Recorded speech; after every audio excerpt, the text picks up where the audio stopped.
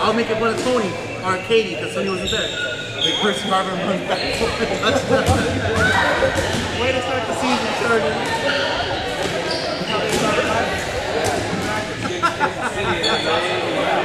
Lord.